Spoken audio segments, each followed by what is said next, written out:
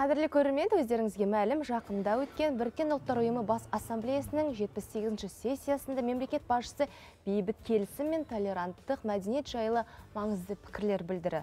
Осы тақырыптар аясында әңгіме өрбіту үшін студиямызға арнайы мейман шақырдық. Қадірлі мейманымыз келді. Мемлекет және қоғам қайраткері Сотбек Абдрахманов ағамыз бүгін Таңшолпанның төрінде. Қайырлы таң. Қош келдіңіз.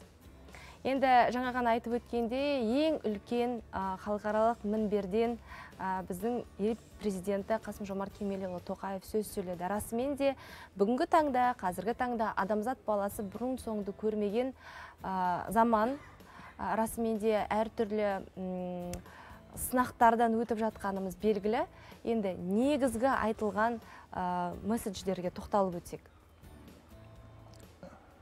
жақсы мен соның алдында кішкене шегініс жасағым келіп отыр өйткені кеше өзі қызық болды кеше түстен кейін маған осы қазақстан арнасынан телефон соғып осы таңшолпанға шақырды. Ә, сонда бір ойыма келгені менің ойымды оқып қойғандай телефон болып шықты. Өйткені дәл сол күні түске дейін мен евразия университетіндегі журналистика және саясаттану факультетінің үшінші курс студенттеріне журналистиканың талдамалы жанрлар деген тақырыпта дәріс оқып дәл сол күні түсініктеме жөнінде комментарий жөнінде айтқан болатынмын. Иә, сонда бұрын мысалы мемлекет басшысының жолдаулары баяндамалары төңірегінде біз мысалы бір айға дейін жиырма күнге дейін қос беттен айқарма беттен беріп жан жақты түсіндіріп жататынбыз. Мүмкін ол тым артық кету шығар. Со- солай екенін уақытта көрсетті. Ал бірақ қазір керісінше екінші шекке шығып кеткен жағдайларымыз бар. Мысалы ә, осындай ерекше сөздер мемлекет басшысының жолдаулары екі күн үш күннен кейін ә, шолақ қайырылып қалатын сияқты әсер қалдырады. Негізінде жұрттың бәрі де бірдей ә, телевизордан алдынан шықпай отырған жоқ жұрттың бірі бәрі бірдей газет оқып жатқан жоқ жұрттың бәрі бірдей саяси шолуларды қадағалап отырған жоқ сондықтан ә, ұлттық арнаның ә, осындай маңызды сөзге байланысты арнайы түсініктемеге шақырғаны өте құптарлық ал енді мемлекет басшысының жақында сөйлеген сөзі шын мәнінде ол белесті оқиға өйткені жаңа өзіңіз жақсы айттыңыз әлемнің басты мінбері. Ондай мүмкіндік жылына бір рет беріледі. Иә. Ә, биыл 78-ші сессия өтті. Ә, біріккен ұлттар ұйымының құрылғанына да 78 жыл болды. 1945 жылы 26 қазанда құрылған еді.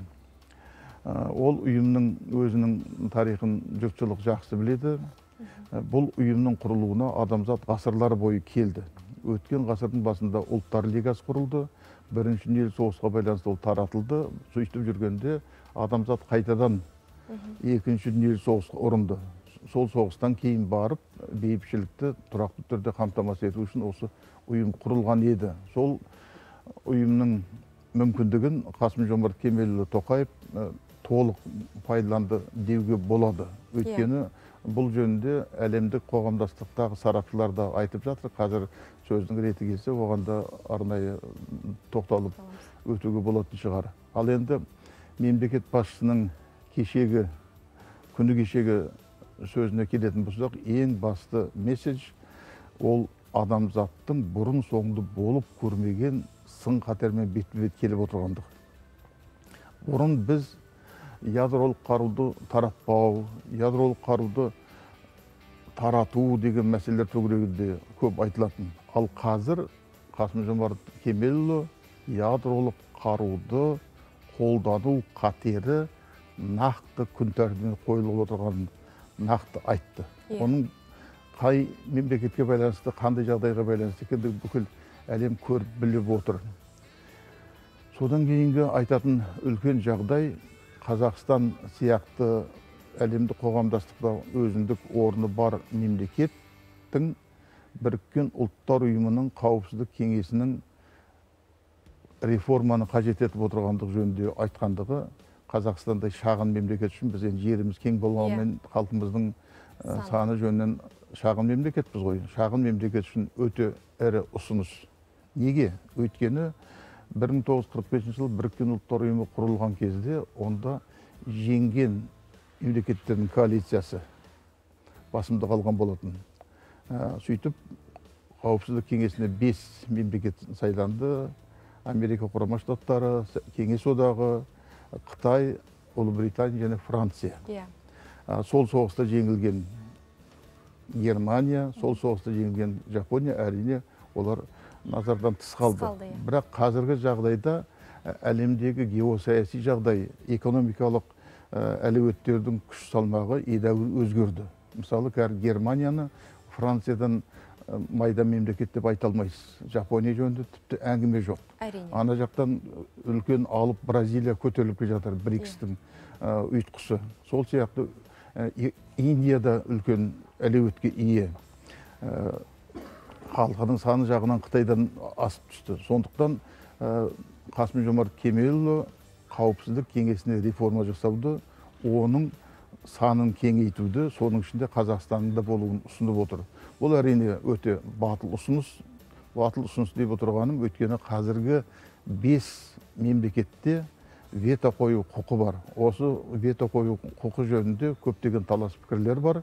Мысалы ауғанстанға кеңес одағы кірген кезде біріккен ұлттар ұйымының қауіпсіздік кеңесі агрессияны тоқтату жөнінде шешім қабылдады бірақ кеңес одағы вето қойды да оны қабылдатпай тастады сол сияқты ә, америка құрама штаттарының ирактағы соғысына байланысты да ә, ресей ұсыныс енгізді оған америка құрама штаты вето қойып қабылдатпай тастады. Басқа да басқа да осындай жағдайлар бар. Демек алдағы кезде бес мемлекет ядролық қаруы бар бес мемлекет бүкіл әлемнің тағдырын шеше бермеуі керек дегенге келтірді. Өте қарапайым айтатын болсақ бұл тағы да айтамын өте ірі ұсыныс. Бұл жөнінде әлемдік қоғамдастық қазір талқылап жатыр. Одан кейінгі айтатын дүние биологиялық қауіпсіздік жөнінде айтқаны да өте салмақты ой қасым жомарт кемелұлы ковид 19 пандемиясы адамзаттың биологиялық қауіпсіздіктің алдында дәрменсіз екендігін тағы көрсетіп берді деді содан кейінгі тағы бір айтқым келетіні орталық азиядағы белді саяси күш ретінде өзімізге көршілес жатқан ауғанстандағы жағдайға алаңдаулық білдіруі ауғанстандағы тұрақты даму жөнінде ә, алматыда орталық құруды ұсыну сияқты көптеген көптеген мәселелер бар бұл ә, шын мәнінде мемлекет басшысының ірі ұсынысы және осы арқылы қасым жомарт кемелұлы кезінде біріккен ұлттар ұйымы бас хатшысының орынбасары қызметінде болғандығын ә, әлемдік ауқымдағы мәселелерді жан жақты қамти алатын үлкен саясаткер саясат сара саясаткер екендігін көрсетіп беріп отыр. Жалпы қазіргі мемлекет басшылары адамзаттың тағдырына және болашағына жауапты екендігін ә, айтқан болатын. Қасым жомарт кемелұлы өз сөзінде. Расымен де қазіргі таңда халықаралық деңгейдегі сұрақтар өте көп. Оның ішінде діни конфессиялық келісім туралы да әртүрлі пікірлер айтылды. Ә, осы, тұрғы, ә, осы тақырыпқа да тоқталып өтсек. Діни ә, келісім рухани келісім. Жаңағы әңгімені жалғастырсам үлкен сын қатерлер төңірегінде нақты мысалдар келтірдім мысалы 180 миллион адам қазірдің өзінде босқын. Ә, бір миллиард адам кедейшілікте өмір сүріп жатыр. Екі миллиард адам дәрі дәрмекке қолын жеткізе алмай отыр бұл үш миллиард жеті миллиард адамның үш миллиарды ә, қиын жағдайда өмір сүріп жатыр деген сөз.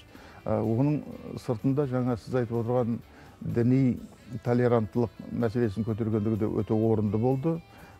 Мысалы швециядағы құранды өртеу сияқты Иә. жан түршігерлік оқиғаға байланысты арнайы айтты.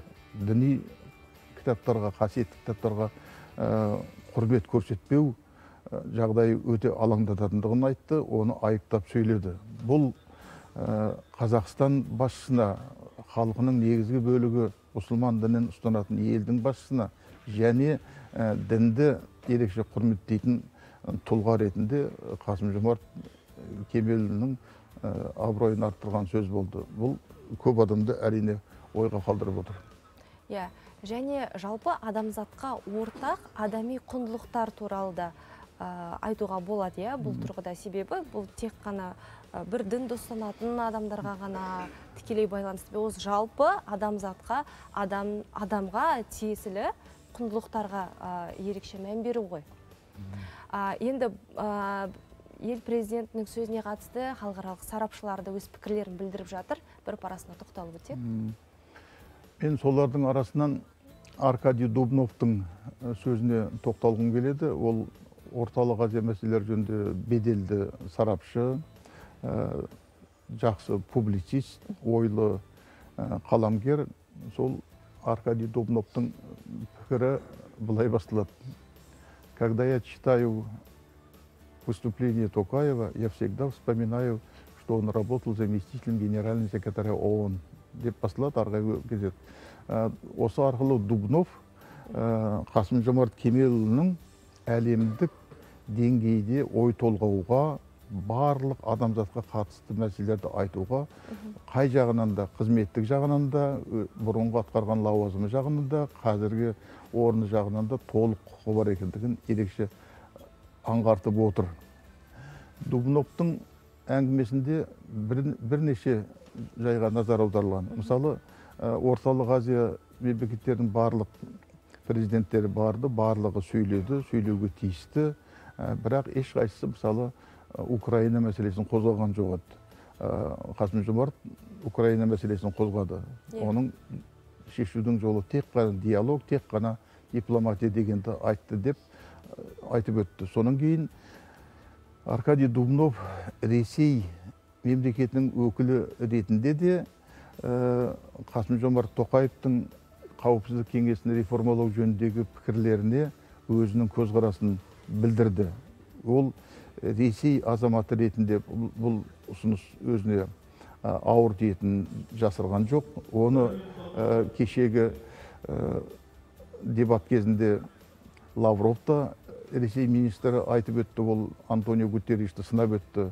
Ал осылардың барлығы егер қауіпсіздік кеңесі бес, бес мемлекеттен кеңейетін жағдайда ресейдің рөлі төмендейтіндігін анық көріп отыр. Бірақ соның өзінде де дубнов тоқаевтың пікірін қолдау жағында өйткені қазір ә, ол жаңағы күштердің ара салмағы әлемдегі мемлекеттердің күштерінің ара салмағын дәл білдіре алмайды деген ә, пікірі өте орынды. Дубновтың құранға байланысты айтқан ә, пікірлер қолдау пікірлері де назар аударуға тұрарлық